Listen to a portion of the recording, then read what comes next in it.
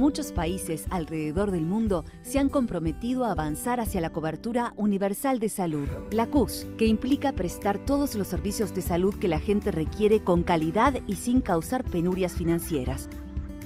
Pero estamos aún lejos de alcanzar esa meta. Millones de personas tienen grandes dificultades para acceder a los servicios de salud prometidos por sus gobiernos o enfrentan serios problemas financieros para obtener los servicios y las medicinas que necesitan.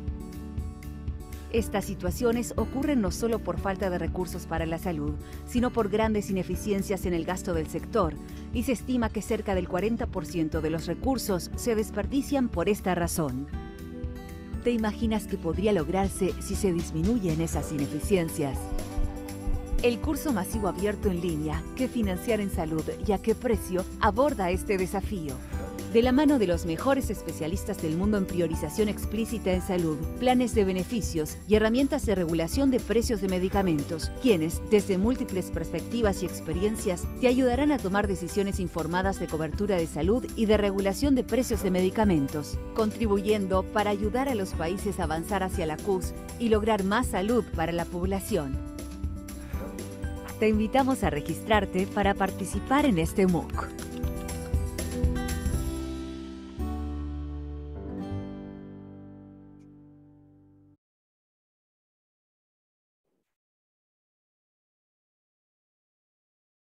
A todos muy buenos días. Eh, nos alegra mucho que nos acompañen hoy. Mi nombre es Pamela Góngora y soy asociada senior de la División de Protección Social y Salud del BID. Eh, y me acompaña también Úrsula Guidón, coordinadora de la red Criteria del BID. Estamos muy contentos de iniciar, esta serie de webinars en la red Criteria para este 2023 con un tema crucial para eh, mejorar la eficiencia en el uso de los recursos de la salud en nuestros países. To our English speaker audience, we have enabled simultaneous interpretation, which you can access by clicking the globe icon at the bottom of the screen. Para aquellos que se unen eh, con nosotros por primera vez, la red lleva más de 10 años produciendo y difundiendo conocimientos sobre políticas farmacéuticas, eh, políticas de precios, eh, medicamentos, evaluación tecnológica sanitaria y hemos apoyado ya a varios países de la región en el diseño, revisión e implementación de políticas de precios, institutos de evaluación de tecnologías en salud y en la construcción de listas de medicamentos o de listas de prestaciones de servicios para mejorar la eficiencia del gasto. Respecto al webinar de hoy, eh, tenemos teniendo en cuenta que en la región ha habido un interés creciente en los fondos especiales para financiar tratamientos de alto costo. Hoy vamos a hablar del caso chileno. Que no ha sido, digamos, ajeno a esta tendencia. Y en el año 2015 eh, creó el fondo llamado la Ley Ricardo Soto, eh, el cual le permite acceder al sistema de protección social financiera que garantiza el diagnóstico del tratamiento de 27 enfermedades de alto costo y está dirigido a los beneficiarios de todos los sistemas chilenos en salud sin importar su situación económica. Y nos acompaña un invitado muy especial y además alguien de la casa, que es eh, Manuel Espinosa, y nos va a compartir los resultados de un análisis crítico que junto con colegas realizó sobre el fondo y van a publicar este año pronto. Nosotros vamos a tener el placer de escuchar de primera mano eh, los resultados de esta evaluación o de este análisis crítico que llevaron a cabo. En el paper analizan aspectos técnicos como institucionales de los procesos de evaluación y eh, recomendaciones llevadas a cabo para ese fondo para informar decisiones de cobertura en estos tratamientos de alto costo. Eh, se, desprenden además análisis muy interesantes y de gran utilidad para la región. Eh, por ejemplo, pueden ser eh, interesantes para el Fondo Nacional de Recursos de Uruguay o para el componente especializado de asistencia farmacéutica en Brasil o para el programa de medicamentos de alto costo de República Dominicana, solamente por nombrar algunos ejemplos. Y bueno, antes de darle la palabra a Manuel, quiero mencionar que es médico, doctor en economía y profesor del Departamento de Salud Pública en la Universidad Católica de Chile. Eh, también es jefe de la Unidad de Evaluación y Tecnologías en Salud del Centro de Investigación Clínica de la misma universidad y además ha sido consultor para la red Criteria y ha sido un placer trabajar con él y de verdad que es un gusto contar con él hoy. Eh, voy a darle ahorita aquí eh, la palabra a Úrsula. Obviamente, Manuel, muchas gracias por acompañarlos em, y le paso la palabra a Úrsula, que es quien va a liderar esta conversación y ya tiene preparadas unas buenas preguntas para que sea una conversación bien amena y que todos em, aprendamos más de ti. Gracias. Hola a todos, eh, es un gusto estar aquí de nuevo después de unos meses de, receso de la red Criteria en términos de sus webinars. Da muchísimo gusto verlos conectados de, de sur a norte. La verdad, muchas gracias que estén todos acá hoy. Y sin más preámbulos, Manuel, quiero lanzarme de una a una primera pregunta, un poco de contexto, de introducción para aquellos que no conocen este fondo catastrófico chileno, Ley Ricarte Soto, eh, ¿por qué no, Manuel, nos resumes así súper brevemente, en cinco minutos, lo que es este fondo catastrófico llamado Ley Ricarte Soto en cinco aspectos, en términos de su objetivo, en términos de, de su scope, de lo que cubre, con qué criterios lo hace, la población objetivo, y por último, no menos importante, porque no nos cuentas un poco el rol que juega hoy en Chile este fondo. Eh, Manuel. Sí, perfecto. Muchas gracias, Úrsula, muchas gracias, Pamela, por esa presentación. Muchas gracias a Red Criteria por la invitación. Em, voy a tu respuesta, Úrsula, inmediatamente. Permíteme simplemente decir de que em, el motivo del por qué estoy aquí es que hicimos este estudio al cual hacía mención el Pamela, que ya está publicado y, podemos dejar el link para, para los colegas que están hoy día escuchando este webinar. Em, este es el estudio y está realizado con recursos propios de la Unidad de Evaluación de Tecnologías de Salud de la Universidad Católica eh, y no reportamos conflictos de interés relacionados a la ejecución del estudio. Entonces, quería partir diciendo eso para, para lanzarme a la respuesta. Manuel, eh, discúlpame que te interrumpa. ¿Estás compartiendo la visión de presentador? Ah, muchas gracias. Muchas gracias. Voy a, voy a inmediatamente cambiar eso. vamos a corregir. Perfecto, gracias. Sí, perfecto. Ahí sí, bien, muchas gracias.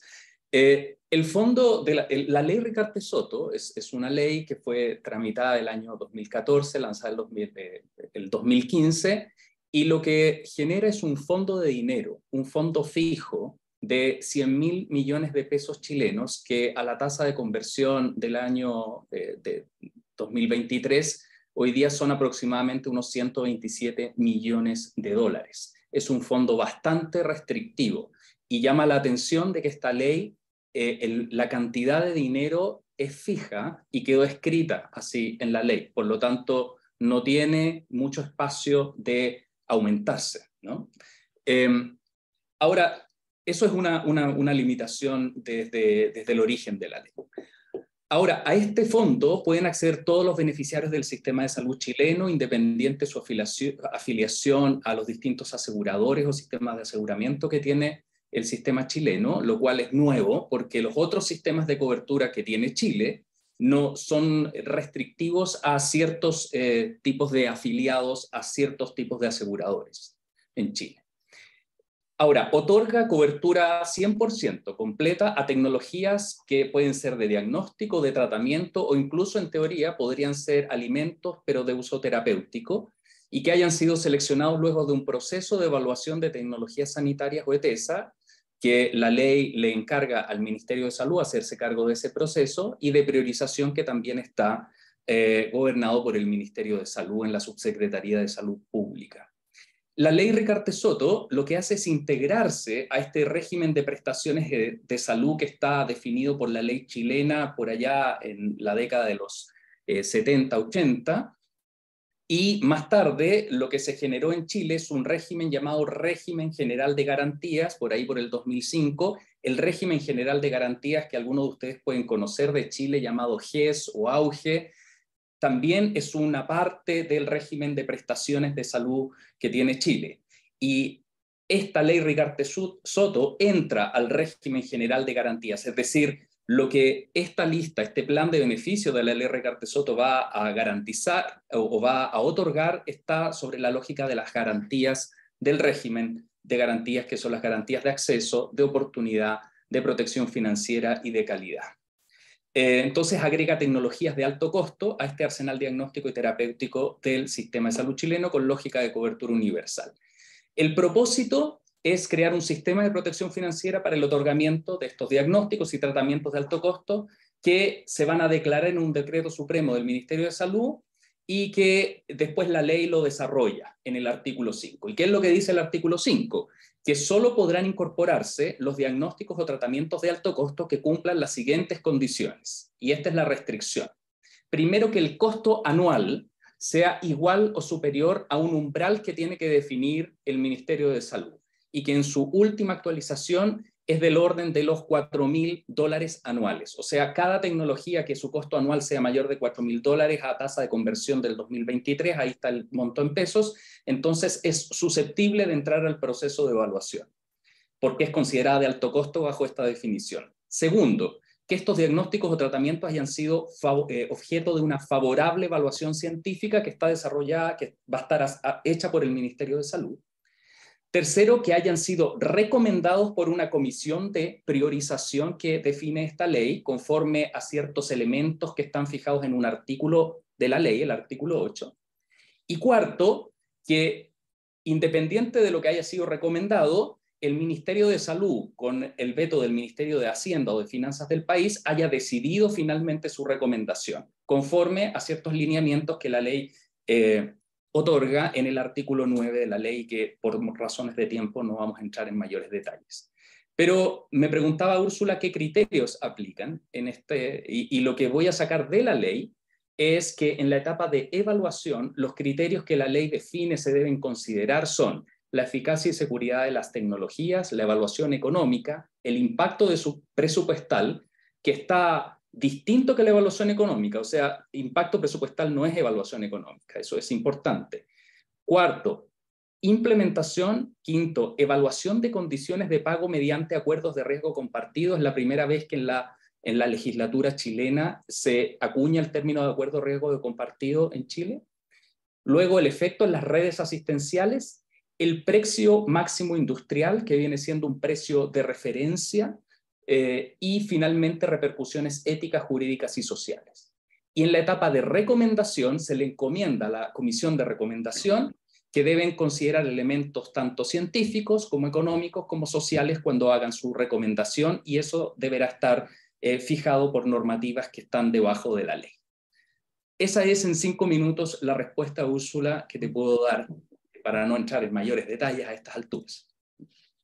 Mil gracias, Manuel, por este excelente resumen tan conciso. Hay muchas cosas que le llaman la atención. Esto del potencial de un fondo catastrófico para integrar un sistema de salud que es fragmentado en términos de pagadores, muy interesante. Y, y también los criterios que mencionas, uno ve eso y dice, púchale cuánto trabajo hacer eso bien, eh, pues un gran, gran reto. Y eso me lleva a mi segunda pregunta, ya pasando al estudio que ustedes están en proceso de publicarlo, eh, cuéntenos un poco más acerca de ese estudio, eh, qué, evaluaron y cómo lo hicieron. Gracias, Manuel. Perfecto. Vuelvo entonces a, las diapositivas que tenía preparadas. Eh, el, estudio ya está publicado, así que está a disposición de, todos. Está, em, ¿Qué hicimos? ¿Qué evaluamos? Lo que propusimos era evaluar tanto contenido como procedimiento y en las etapas de evaluación y en las etapas de recomendación, ¿ok?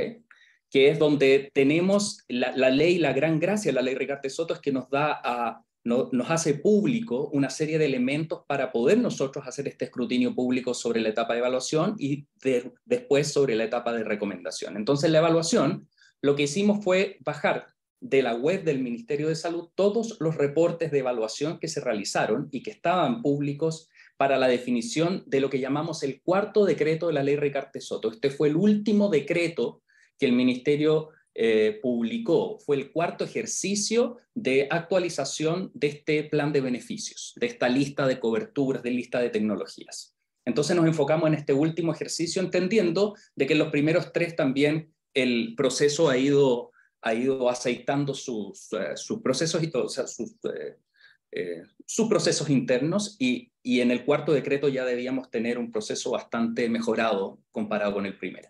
En la recomendación fuimos a leer las actas de la comisión de recomendación priorizada que estaban disponibles, las cartas de impugnaciones y las correspondientes respuestas del Ministerio de Salud y los informes finales elaborados por el Ministerio de Salud. La tabla 1 que les pongo acá pone lo que expone son los criterios que la normativa chilena ha considerado para que una tecnología sea favorable. Y esto es importante porque este es el marco de referencia para nosotros poder evaluar si es que lo que hizo el Ministerio de Salud estaba en concordancia con esta normativa. Les voy a leer un par para que ustedes tengan una idea. Es considerada favorable una tecnología, número uno, si las intervenciones cuya evidencia de efectividad tenga un efecto significativo. Si las intervenciones, voy a saltarme para que, para, para que tengan ustedes una idea nomás. La tres, las intervenciones que no presenten alertas sanitarias que hayan implicado una recomendación de restricción de uso en el subgrupo de pacientes en evaluación. La cuatro, intervenciones que hayan sido rechazadas en su registro por criterio de balance riesgo-beneficio. Esta quinta es muy interesante. Intervenciones cuyo impacto presupuestal no supere el 110% del fondo disponible.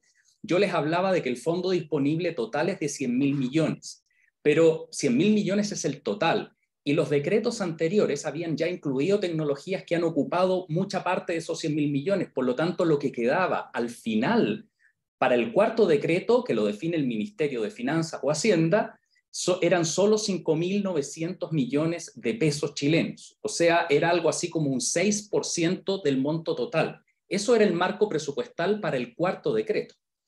Eh, y entonces lo que, lo que está diciendo esta, esta quinta elemento es que el impacto presupuestal de una tecnología no puede superar el 110% de ese, de ese remanente de dinero que queda, eh, entre otras cosas. No voy a ir en los detalles, eso está disponible para que ustedes lo puedan leer con, con, con mayor profundidad. Entonces, ¿qué es lo que fuimos a evaluar? Análisis de contenido, en la etapa de evaluación lo que evaluamos fue consistencia de contenido de eficiencia, es decir, de que si se encuentra algo que es eficiente, sea eh, por, temas de eficiencia, entonces no haya sido considerado no favorable, porque si es eh, eh, eficiente, tiene que haber consistencia entre el resultado de eficiencia y la favorabilidad. Segundo, la consistencia entre la conclusión del reporte de TESA, que sea favorable o no favorable, y la normativa de la ley, que es lo que les acabo de mostrar en la tabla previa. Tercero, la consistencia entre el impacto presupuestal y el marco presupuestal de la ley. Cuarto, la consistencia entre de la evaluación de implementabilidad. Y quinto, extrajimos datos de los otros elementos, como la evaluación económica, etcétera, etcétera, para un análisis más cualitativo, porque esos elementos no estaban en la normativa de favorabilidad versus no favorabilidad. En la recomendación, lo que fuimos a evaluar, como esto es más cualitativo y la recomendación eh, emana de un juicio de deliberación de la comisión, lo que fuimos a establecer es un juicio de acuerdo versus desacuerdo entre la evidencia que reportan los informes del ministerio y la valoración de cada tributo que se considera en el ejercicio de recomendación que hace esta comisión. Esta comisión utiliza un instrumento llamado el, Evidence to Decision Framework eh, y aquí aplicamos un juicio, ¿no? Entonces, por ejemplo, si la, si la comisión de priorización dice de que una determinada tecnología tiene eventos beneficiosos mínimos, eh, o perdón, voy a hacerlo más simple, dice que tiene grandes efectos, efectos de tratamiento, pero uno va al reporte y en el reporte sale que el efecto de tratamiento es no significativo, entonces uno cuestiona o planteamos un desacuerdo respecto de la consistencia que hay entre la valoración que hace la comisión y, la, y el reporte del Ministerio de Salud. Luego, en el procedimiento tenemos consistencia entre la conclusión de favorabilidad y el paso a la etapa de recomendación. Por ejemplo, una alternativa favorable que no pasa a la recomendación es inconsistente, o una alternativa no favorable que sí pasa a la etapa de recomendación también es considerado inconsistente. Luego, en la etapa de recomendación, lo que planteamos es acuerdo o desacuerdo entre la evaluación y la recomendación que hace la, la comisión. Aquí lo que consideramos es que, por ejemplo, una alternativa que haya sido no favorable sea elegida para financiamiento o una alternativa favorable y que no haya sido elegida para el financiamiento cuando hay otra alternativa favorable o no favorable para igual problema de salud, pero es financiada. eso también es considerado como un desacuerdo. Estos son los elementos que consideramos para evaluar, Úrsula. Mil gracias, Manuel. Em, muy relevante y al escucharte yo pensaba, más allá de tú contarnos cómo hicieron el estudio y cuáles eran los criterios, en realidad ustedes ofrecieron con, con este estudio una especie de semilla para hacer una rendición de cuentas o análisis de, de muchos de, de los, los um, marcos institucionales que hay en América Latina eh, para decisiones de cobertura. O sea, realmente interesantísimo cómo lo hicieron, pero también lo que puede significar para otros que quieren evaluar, no sé, su, su instituto de evaluación de tecnologías y cómo se toman decisiones y todo eso. Así, se, así que, Manuel, muchas gracias. Y ahora, obviamente, creo que todos estamos ansiosos de saber qué, qué encontraron, qué encontraron frente a estos temas de consistencia recurrentes y de análisis que tú acabas de, de describirnos en estos dos ámbitos, evaluación, recomendación y también técnico versus procesos. Así que, Manuel, cuéntenos. Bien, lo primero que quiero destacar es que esto es posible gracias a que la ley efectivamente comanda al Ministerio de Salud a hacer transparente la información. O sea, la transparencia es la condición necesaria para que hayamos podido hacer esto y eso hay que agradecerlo y hay que enfatizarlo. Pero la transparencia no es suficiente para la legitimidad y es por eso que fuimos a, a ver, a revisar esto, porque no por el hecho de que las cosas estén transparentes, eso implica necesariamente que todo va a estar hecho muy bien o 100% bien, sin errores y sin cuestionamientos. Y eso es lo que fuimos a ver. Lo que nos dimos cuenta es que para el cuarto decreto, el cuarto ejercicio de priorización de la Ricarte Soto, se analizaron al final del día 34 problemas de salud.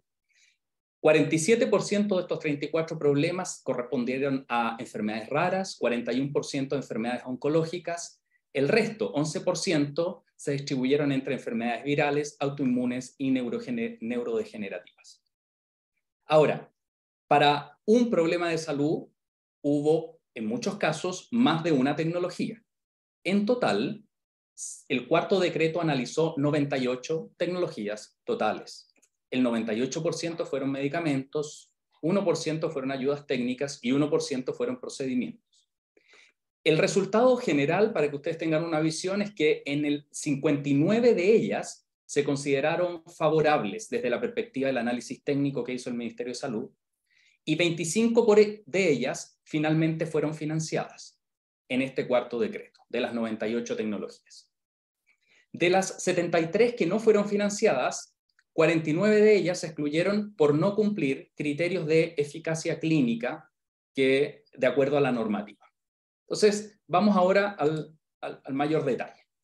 Cuando uno va a la etapa de evaluación y analizamos los criterios importantes, que son los de eficacia, impacto presupuestal, implementación en red y evaluación económica, estos tres, diría yo, los primeros son los más relevantes desde la perspectiva de la normativa que generó el Ministerio de Salud. Entonces, en eficacia, ¿qué les puedo contar? Que en 49 tecnologías de las 98 se midió la eficacia como sobrevida global o mortalidad.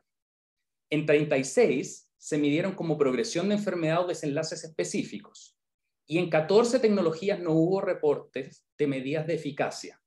En algunas de ellas las, la, la, justificación para eso, por ejemplo, en las ayudas técnicas, en algunos procedimientos, es que las ayudas técnicas son evidentemente eficaces. Entonces no requerían o no había, era obvio que no iba a haber eh, medidas de eficacia en las ayudas técnicas. Pero teníamos tecnologías sin medidas de eficacia. Y acá les muestro algunos ejemplos que dan cuenta en el reporte, eh, esto está en dos anexos con mucho mayor detalle.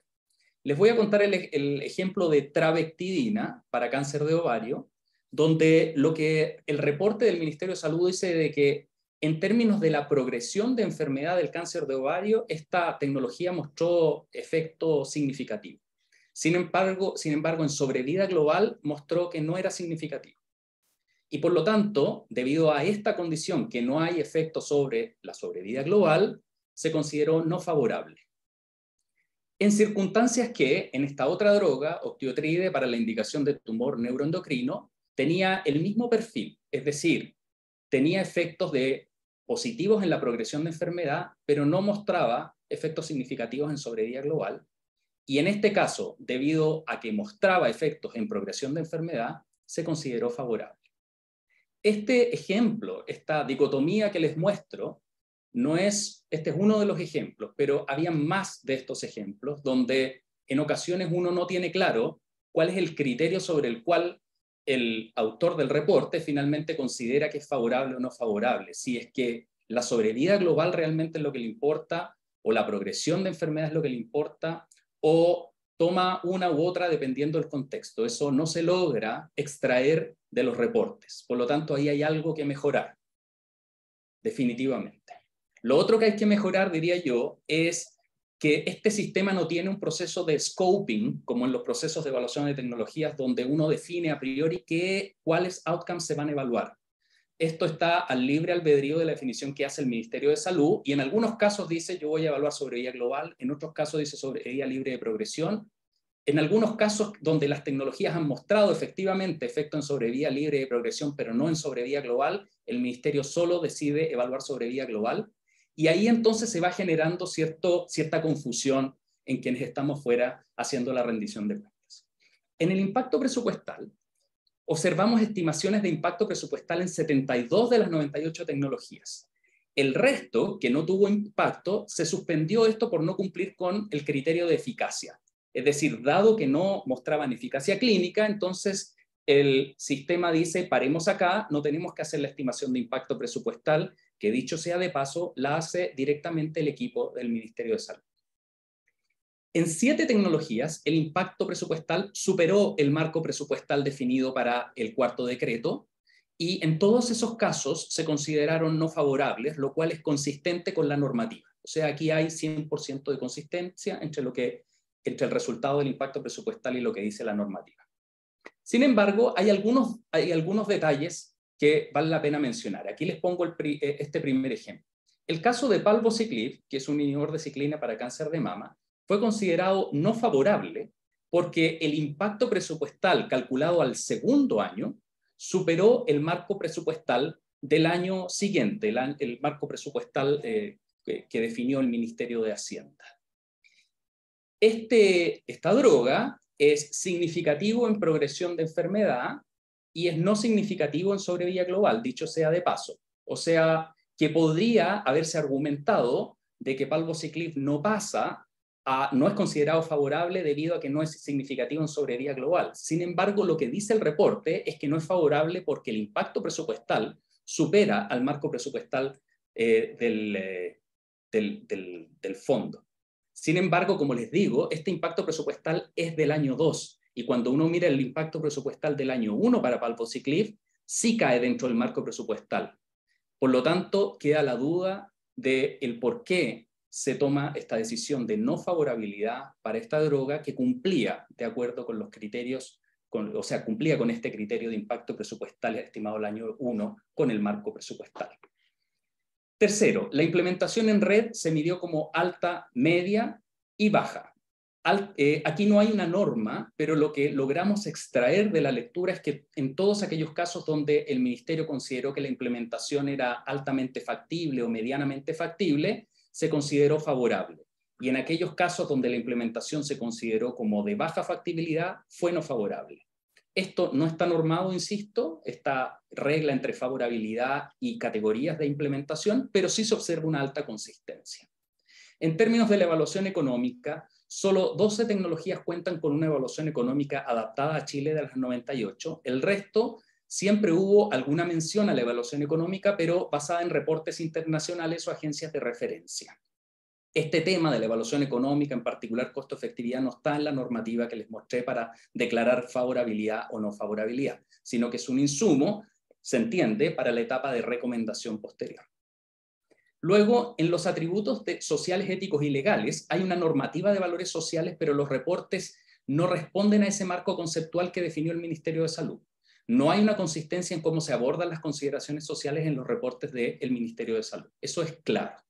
El reporte de consideraciones éticas se limita a reportar conflictos de interés, pero no hay en los reportes un análisis ético del problema de la implementación de estas nuevas drogas en un marco de justicia distributiva en la asignación de recursos en el sistema de salud. Por lo tanto, ahí hay mucho que trabajar. Y en el tema del reporte de consideraciones legales, también los reportes varían mucho, no siguen un marco conceptual claro, no, en algunos se habla de jurisprudencia de ciertas de ciertas sentencias judiciales, en otros no se habla de nada. Por lo tanto, ahí también hay que avanzar en un marco conceptual que eh, haga más homogéneos los reportes de las consideraciones legales en este proceso. En términos de la consistencia, les puedo contar de que encontramos 20 inconsistencias y 78 consistencias. La primera razón para inconsistencias es que encontramos tecnologías favorables sin evidencia que respalde eficacia clínica. Así de claro. Y la segunda razón es que encontramos exclusiones porque el impacto presupuestal al segundo o tercer año superó el marco presupuestal del año 1, lo cual ya les ejemplifiqué con el caso de palvociclib. Pero la principal razón eh, de inconsistencia es que no se respaldaba el resultado de favorabilidad con la eficacia clínica que está reportada por el reporte o por el informe del Ministerio de Salud. No es que no haya información fuera sobre eficacia, pero no estaba ahí en ese reporte. Y en los desacuerdos encontramos desacuerdos en 39 tecnologías. La razón más importante decía relación con la penalización que hacen eh, la aplicación del sistema GRADE, en particular de certeza de la evidencia en las tablas SOFT que presenta el Ministerio de Salud, y esta no está justificada. Entonces encontrábamos, por ejemplo, penalización de algo que uno podría explicar que la evidencia, la certeza de la evidencia es alta, pero la encontrábamos en media o baja y no encontramos el argumento que justificara esa penalización. Y ahí planteamos un eventual desacuerdo. Finalmente, en las etapas de recomendación, les quiero contar que levantamos cuestionamientos en, de las 59 tecnologías que pasaron a la etapa de recomendación, identificamos cuestionamiento en el 74.5% de los casos. Y les voy a mostrar un ejemplo del tipo de cuestionamiento. Este es el caso de la valoración de una droga llamada sunitinib en segunda línea para tumores del estroma gastrointestinal. Eh, aquí lo que observamos fue lo siguiente, es que la comisión de recomendación, cuando valoró los efectos deseados, es decir, la eficacia, consideró que los efectos deseados eran grandes. Sin embargo, uno va al reporte del Ministerio de Salud y uno ve que el reporte dice que el efecto de tratamiento no es significativo. Entonces hay una inconsistencia entre que la valoración diga que los efectos son grandes y el reporte dice que no es significativo. Puede ser de que la gente que valoró haya tomado evidencia que no estaba considerada en el reporte. Puede ser. Puede ser que haya, se haya confundido porque otro cuento es cómo es el tiempo que ellos tienen para procesar toda esta información y traspasarla a un juicio de valoración. Puede ser de que hayan habido errores de reporte.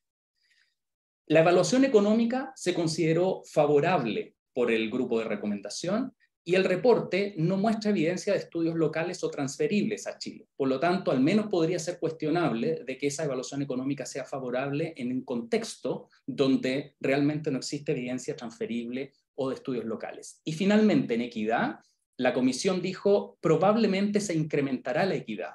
Pero el juicio que hacemos nosotros es que al no haber acceso a la primera línea en, en estos tumores, lo que puede ocurrir es que aumente la inequidad porque solo aplica a quienes han tenido acceso a la primera línea vía seguros privados.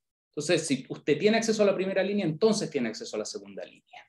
Eh, por lo tanto, darle acceso a la segunda línea sin darle acceso a la primera podría eh, generar eh, aumento de inequidad y no lo que está diciendo la Comisión de Recomendación Priorizada.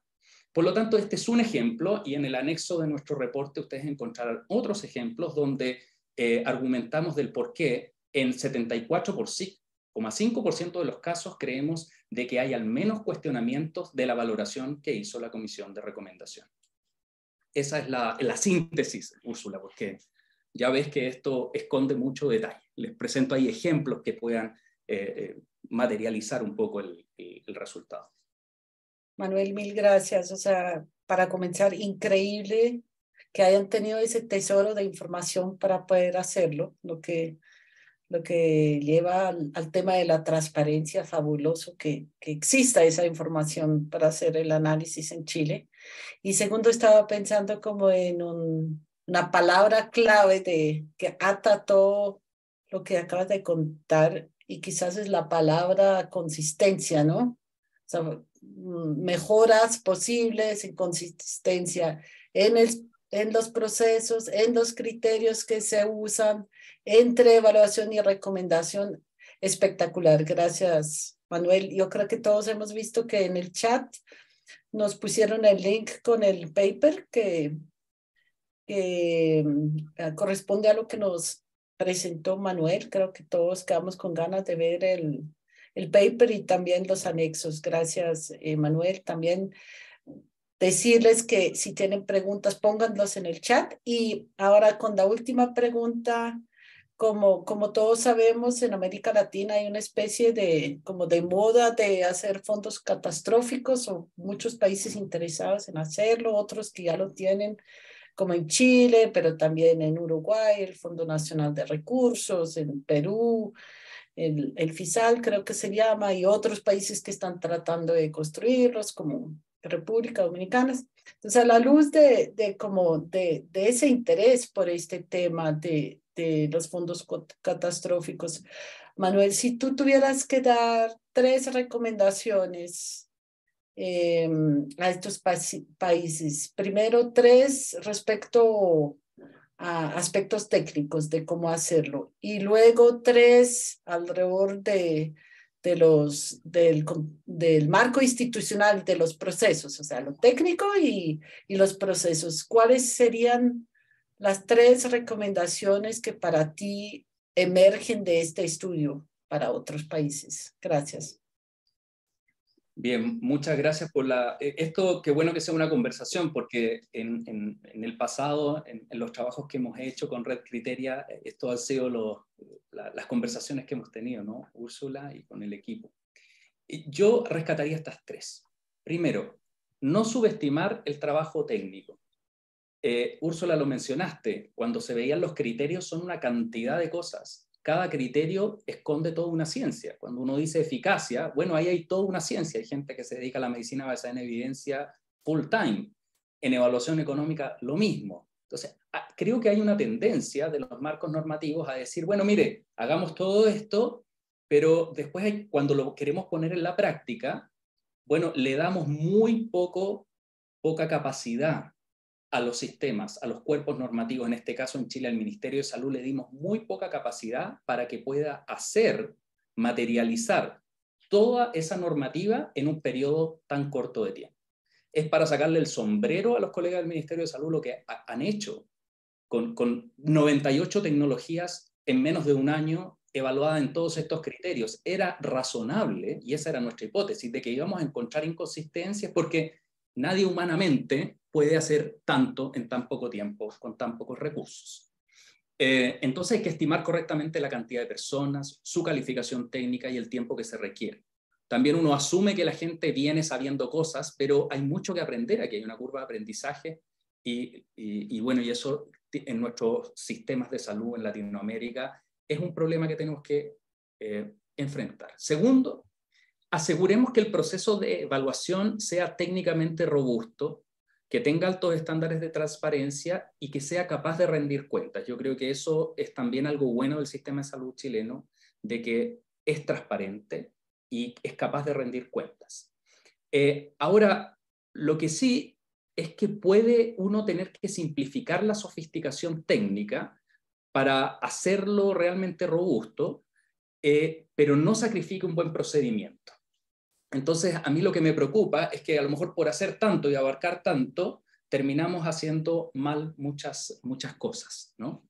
Eh, entonces yo creo que en muchos de los sistemas de salud de Latinoamérica quizás tenemos que hacer marcos de valor de evaluación de tecnologías un poco más, eh, eh, menos, menos ambiciosos, pero en cada uno hacer las cosas bastante bien, que sean bastante consistentes y que el procedimiento al final del día haya sido eh, bien desarrollado y después al segundo año le podemos agregar algún otro criterio, alguna otra, eh, y, vamos aumentando así gradualmente. No olvide la etapa de scoping, yo creo que ese es un problema de la ley Regarte Soto en Chile. La etapa de scoping, de decir esto lo vamos a evaluar en base a este outcome, a este otro outcome, le vamos a evaluar estos estudios, etcétera, es muy relevante al principio, porque lo que hemos visto en Chile es que hay confusión respecto de cuál outcome se evalúa en qué tecnología. Dos tecnologías oncológicas, una se evalúa en base a sobrevida global y otra se evalúa en base a sobrevida libre de progresión. Eso no está bien. Tenemos que avanzar en, en hacer más transparente esa primera etapa de ver cómo vamos a evaluar las cosas. Y la tercera es asegurar una valoración con estándares claros que faciliten primero la deliberación del grupo que está convocado a hacer la discusión y la deliberación y que sea capaz de rendir cuentas. Y acá la deliberación es todo un tema, porque, porque cómo uno invita a deliberar en base a qué, cómo lo estructura. Y yo creo que lo que hizo Chile fue una buena idea de aplicar, utilizar un instrumento que facilite, eh, y, ocupó el Evidence to Decision Framework. Yo, yo he sido muy crítico del instrumento per se, pero me parece bien de que haya un instrumento que les facilite. Ahora, cuando uno va a adecuar ese instrumento a la práctica, eh, ahí yo tengo varias, varias eh, críticas al instrumento, porque el instrumento yo creo que es demasiado, demasiada información para 98 tecnologías. Es como que el, el, que está deliberando tiene que tener en la mente 98 tecnologías con el instrumento valorado sobre 12 criterios y en un espacio muy reducido de tiempo tiene que, tiene que acordarse de, todo, de toda la información y hacer una valoración de cada uno de los atributos. Entonces, en eficacia en la droga 1, en eficacia en la droga 2, en eficacia en la droga 74, en evaluación económica, lo mismo. Y eso en un espacio de uno o dos días. Es muy difícil lo que se le pide a la gente en la deliberación chilena. Yo creo que ahí el instrumento y la manera de deliberar puede también eh, mejorar en el caso chileno y para quienes están afuera deben pensarlo muy bien para que sea una deliberación que realmente nos logre dar cuenta de que ahí se hizo bien el juicio de valoración de cada una de las tecnologías con el tiempo adecuado y con la información adecuada. Eso, Úrsula, no sé qué piensas tú. Eso es para otra conversación, Manuel, pero me encantaron tus recomendaciones y, digamos, sobre todo tu énfasis en, en no es en métodos, no es como hacer el método aún más sofisticado, sino es en aspectos institucionales, asegurar estándares, hacerlo pragmático, tener en cuenta las limitaciones de tiempo. Así que creo que son recomendaciones muy, muy, muy importantes y, repito, no solo para los temas, no solo para Chile, ni tampoco solo para temas de de alto costo o temas catastróficos, sino en general para todos los que nos interesa el tema de, de toma de decisiones de cobertura basado en la evidencia. Así que, que mil gracias. Eh, puedo decir una, una, cosita, porque si hay gente que me está escuchando y conoce la historia de esto, yo, yo tengo mea culpa en esto. Yo participé en la etapa de discusión de confección de la ley Ricarte Soto y fui muy activo en proponer todos estos elementos de valor, todos estos criterios.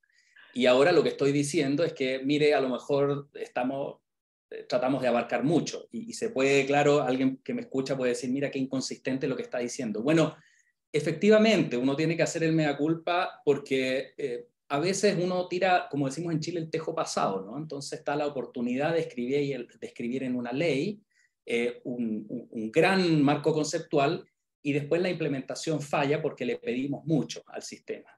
Eh, pero también creo que a veces eso es un, un, juego que uno tiene que ocupar la oportunidad. Y, yo creo que en la ley Recarte Soto tuvimos la oportunidad, a lo mejor la vestimos muy, muy bonita, digamos, con muchas cosas, eh, lo cual generó una presión para que el ministerio armara su departamento de evaluación de tecnología, tuviera gente y, y esta evaluación que estamos haciendo justamente para decirle, mire, aquí podemos mejorar. Y yo creo que hemos ido mejorando bastante en Chile gracias a la normativa. Por lo tanto, creo que lo que uno tiene que hacer es avanzar año a año, tratando de haciendo mejorías para que en un periodo de 5, máximo 10 años, uno tenga realmente un proceso robusto, sofisticado, pero no demorarse, digamos, eso no quiere decir que el año 1 tiene que estar todo implementado, pero quizá el año 5 ya vemos cinco veces mejor que lo que teníamos al año 1. Esa es un poco la, la idea. Gran punto, Manuel, también, que es lo que acabas de decir, es es absolutamente relevante porque a veces uno cree que las cosas deben ser perfectas el primer día y creo que en este campo nuestro, en realidad esto todos estamos hablando de no del círculo vicioso, sino del círculo virtuoso donde las cosas van em, mejorando poco a poco y que estamos aprendiendo en el terreno. Yo, yo no me echaría la teja, como creo que dijiste, ni un mea, mea culpa, sino creo que es un constatar que estos procesos se van ajustando gradualmente a medida que uno lo tiene que aplicar en la realidad. Em, Manuel, mil gracias, de verdad, espectacular. Creo que podríamos seguir conversando muchísimo, eh, pero ahora ya son las menos un cuarto y quiero por lo menos darle la oportunidad a algunos entre la audiencia de hacer unas preguntas, eh, por lo menos tener 10 minutos de preguntas. Y para moderar esta sección de preguntas, devuelvo la palabra a, a Pamela. Pamela, adelante. Muchas gracias, Manuel. Fascinante, como siempre. Amo cómo presentas y, y excelente, excelente. Mucho para aprender para, para todos los países de la región. Hay varias preguntas. El chat ha estado bastante activo, es muy popular. Em, empiezo con, las primeras que nos enviaron, eh, un poco también para, para, dar un poco más de contexto.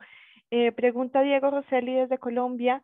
Eh, ¿de dónde proviene la financiación de la, de la ley Ricardo Soto? Y aprovecho también para hacer otra pregunta conjunta, si en la evaluación contemplaron, en la evaluación que ustedes hicieron en el paper, si contemplaron cuáles emplean estrategias de rutas o redes integradas como complemento para garantizar adherencia y seguimiento a recomendaciones. Eh, un saludo a mi querido amigo Diego Rosselli. Em, el, fondo de la ley Ricardo Soto viene proveniente del arca fiscal chileno eh, 100%, o sea, viene de los impuestos generales. Chile es un sistema mixto en términos de financiamiento, tiene contribuciones, tiene eh, un importante eh, financiamiento de fiscal, muy importante, y, y básicamente esas dos fuentes, ¿no? Pero la ley Ricardo Soto viene full del fiscal. Y tu pregunta, la, pregunta, Alfonso pregunta si en la evaluación contemplaron cuáles emplean estrategias de rutas o redes integradas como complemento para garantizar adherencia y seguimiento a recomendaciones. Sí, la, la, pregunta de Alonso yo la entiendo en la, en la evaluación que realizó el, el ministerio. Sí. entiendo, así la, la, entiendo, porque nuestra evaluación de lo que hizo, de lo que está hecho como proceso, no solo, solo hace la evaluación de lo que está publicado, ¿no? no hay nada de eso. Pero en la evaluación de las redes eh, no es claro cómo, cómo se evalúa eh, y no es consistente también entre los reportes el cómo se evalúa este tema. ¿no? Eh, como les dije, en la implementabilidad o la capacidad que tiene la oferta de desarrollar, en general está enfocada en términos de decir, mire, si esta tecnología es de alta sofisticación y tiene que ser implementada en un centro de referencia oncológico, entonces la descripción es, mire, en el norte del país tenemos capacidad de implementarse, en el centro también, en el sur no, etcétera. Y sobre esa descripción que hace el propio Ministerio de Salud en su departamento de, la Subsecretaría de Redes, entonces eh, alguien dentro del ministerio hace un juicio de si esa factibilidad de implementación es alta, media o baja. Hasta ahí es lo que sabemos eh, desde fuera. Ok. Pregunta Marcela Distruti, también eh, coordinadora de la red Criteria. Eh, te agradece por la presentación, excelente. Y pregunta, ¿cómo seleccionaron, y ya esto haciendo referencia al, a la evaluación que ustedes realizaron, cómo seleccionaron las 98 tecnologías sanitarias que fueron analizadas? Ah, un saludo también a Marcela, con quien hemos trabajado en el pasado. Las tecnologías eh, fueron, como dije, todas las tecnologías que el Ministerio de Salud evaluó en el cuarto decreto. En ese contexto podríamos decir que fue un censo del último ejercicio de priorización de la Ricarte Soto. ¿Sí? Entonces fue una selección completa, digamos. Analizamos todo. Ok. Ok, y volviendo eh, a la Ricarte Soto, Pregunta Roberto Tapia, ¿en qué medida tú evalúas que se está produciendo un, estancamiento financiero de los fondos de la ley Ricardo Soto en relación a las demandas de la sociedad civil, agrupaciones de enfermos, etcétera? ¿No podría realizarse una simulación externa con tratamientos de alto costo ya incorporados en otros sistemas de salud y requerimientos financieros? Bueno, intuyo que este Roberto Tapia es chileno y a quien yo conozco, si es así, le envío un caluroso saludo. Eh, Efectivamente, la ley Ricarte Soto cuando nació, nació con este fondo finito y sabíamos que se iba a acabar. primero, sabíamos que no iba a alcanzar para todos y sabíamos que se iba a acabar luego. Y es lo que ha pasado. Y eso ha generado cierta frustración en la población. Luego de la ley Ricarte Soto, el sistema de salud se las ha ingeniado para sacar otras ventanas de escape. Por ejemplo, hoy día tenemos un fondo que es del orden del 60% de la ley Ricarte Soto, que se llama drogas de alto costo de cáncer. Y finalmente, ese fondo actúa como otra ventana de escape. Entonces, hoy día un paciente con cáncer puede tener financiamiento en el régimen general de garantías, puede tener financiamiento en Ricarte Soto y puede tener financiamiento en este otro plan de beneficios que es la drogas de alto costo. Por lo tanto, absolutamente está estancado, nació estancado la ley Ricarte Soto y en opinión de algunos, como yo, yo creo que Chile debiera pensar en un momento profundo de reforma en reformar todo su esquema de coberturas. O sea, tenemos en este momento muchos planes, muchos eh, fondos, o, ah, más de uno o dos fondos para distintas cosas y con ejercicios de priorización, con marcos de valor distintos y lo que necesitamos es homogenizar o coordinar eso en un único plan universal de beneficios. Yo creo que esa es la forma de que tenemos que avanzar. Eh, a ver, eh, hasta ahí em, creo que, que, había otra parte de la pregunta que no la abordé, estoy tratando de buscarla. Acá la tengo. Bueno. Eh, ¿No podría analizarse una simulación externa con tratamientos de alto costo ya incorporados en otros sistemas de salud y requerimientos financieros? Bueno, si entiendo bien, claro, claro, podríamos hacer eso. Mira, yo creo que eh, eso tiene sentido, eh, pero antes que eso, yo, dado la oportunidad que tiene Chile hoy día de pensar una reforma más estructural, yo pensaría cuál es el diseño del esquema de coberturas que vamos a implementar para los próximos 10 años. Si vamos a seguir con un esquema ley Ricarte Soto, drogas de alto costo de cáncer, GES, qué sé yo, múltiples planes de beneficios, que, que cada uno es una puerta distinta que el paciente tiene que tocar, o vamos a diseñar algo que sea más integrado y más coherente. Y una vez teniendo ese diseño, yo trataría de hacer las simulaciones de qué optimiza ese plan de beneficios. Eh, eh, pero los ejercicios tecnocráticos los, lo podemos hacer. Yo aprovecho que, que, tengo el poder de la palabra y voy a hacerte también una pregunta conectada con eso que justamente mencionas. ¿Qué sería lo bueno, lo malo y lo feo de los fondos catastróficos en el contexto latinoamericano y del Caribe? Bueno, lo bueno es lo que justifica que hayamos tenido la ley Rigarte Soto, que, que hay una... Habitualmente uno encuentra voluntad política, ¿no? porque esto es un problema, es fondo catastrófico, va a beneficiar a la gente, entonces la clase política responde favorablemente. Y el ejemplo de la ley Rigarte Soto es claro, es una ley que se sacó en tiempo récord para las leyes en Chile y, está ahí, ¿no? Y después cuando viene la ley de cáncer y se pide un fondo para la ley de cáncer, también se factibiliza esa, disponibilidad de recursos porque, porque en general hay sintonía, porque va a generar beneficios inmediatos en población que está demandando eh, tecnologías que son vitales para su vida. Por lo tanto, ahí hay una oportunidad política, nadie diría que no, eh, entonces se viabiliza y beneficia a gente en el corto plazo. Eso es lo bueno. ¿Qué es lo malo? Lo malo es que nos va, a nos va fragmentando más el sistema y nos va generando injusticias en, la implementación de esto, porque los que van quedando atrás van sintiendo eh, la injusticia que es que, ah, hoy día es cáncer y no es enfermedad rara, mañana será enfermedad rara y, y hay alguien siempre que queda atrás.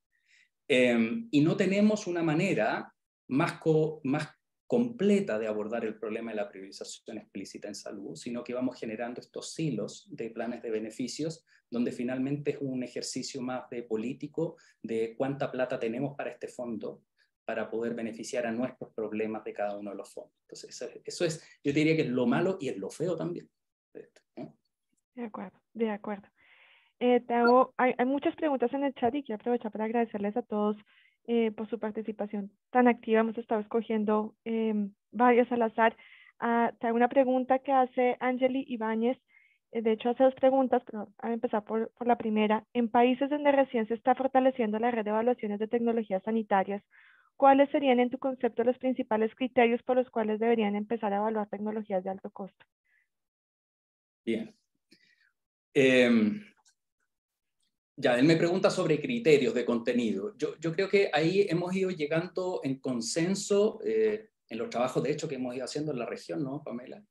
De que evidentemente que los beneficios que genera una tecnología son importantes y hay que eh, definir cómo vamos a medir esos beneficios, que pueden ser simplemente salud, pueden ser beneficios clínicos únicamente o beneficios de salud más grandes, etcétera cómo disminuye la carga de enfermedad, por ejemplo, que hay una, ahí hay un, hay un tema justamente en los beneficios, si lo que nos importa es el nivel individual del beneficio o el nivel poblacional del beneficio.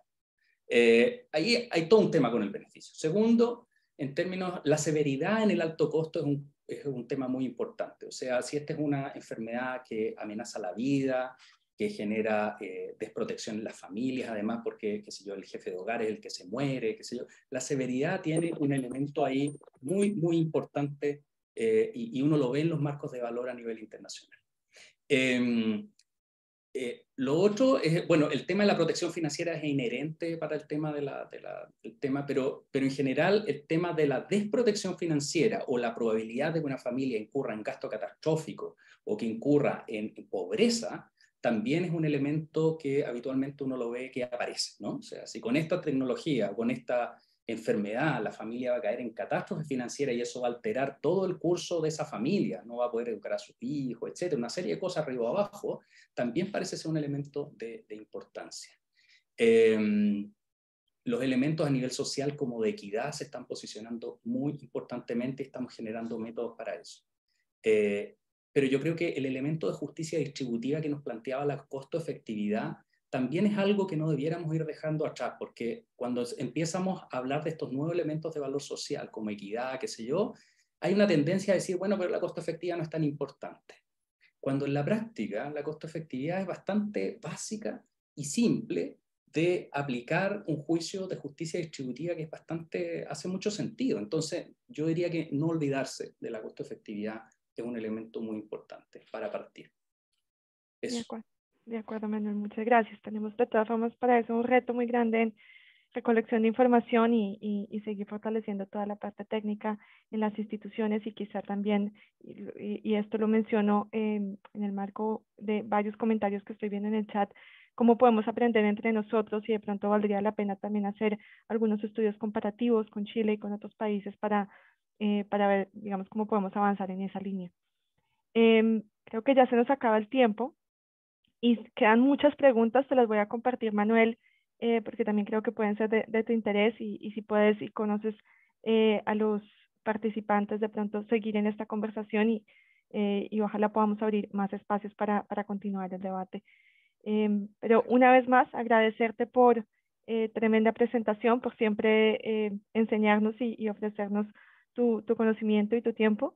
Eh, y a todos también muchas gracias por su participación, eh, por acompañarnos el día de hoy. Se conectaron varios eh, y esperamos estar subiendo muy pronto las, el, el, video del webinar y como les comentó Úrsula y ya lo vieron en el chat, está también ahí les compartimos el link con el estudio en donde está todo, digamos, el detalle de la metodología y de los resultados y las recomendaciones que nos presentó hoy Manuel.